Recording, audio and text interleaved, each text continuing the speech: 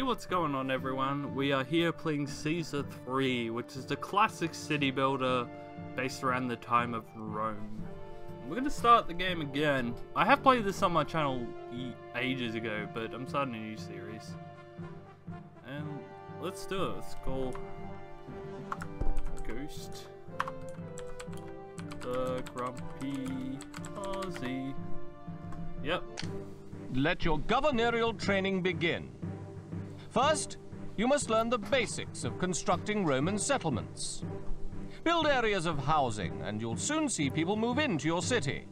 You can click and drag the mouse to build lengths of path at once. Plan paths carefully, with as few intersections as possible, to ensure people will walk where you want them to. At every intersection, walkers must choose which way to go. Each intersection lessens your control over their actual routes. So we just have to hit a population of 150. Now I'm playing this with the Julius mod, so it widens the screen and does all that whatnot. Um, uh, why is the difficulty on very easy? I'll fix that later. Um, alright, we'll start start doing that. Uh, we'll just remove these trees little,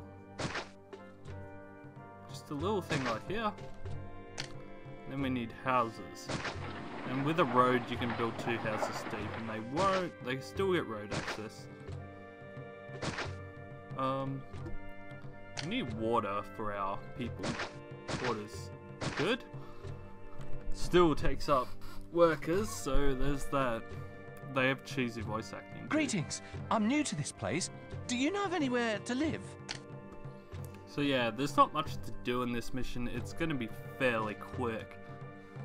But that's fine. And yeah, with the Julius mod, it just like fixes the frame rates a little bit, makes it smoother, just little fixes here and there.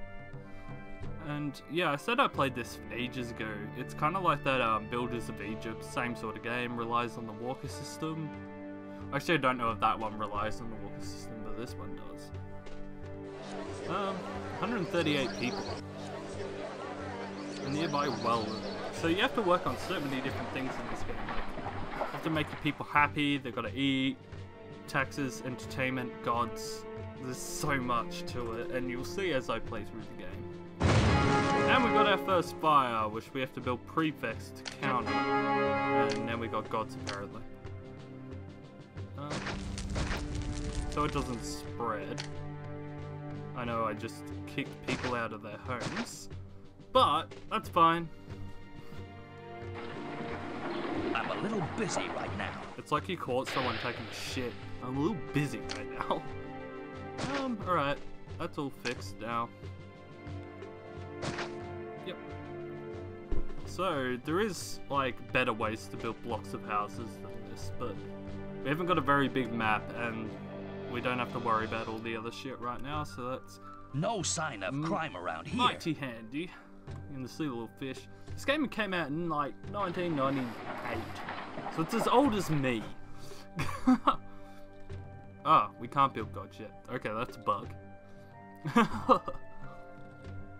Yeah, I'm upload. I'm recording a few different games tonight, so I have like lots to upload over the next few days, and we're mixing it up a little bit, so you guys don't get bored of just the same content over and over.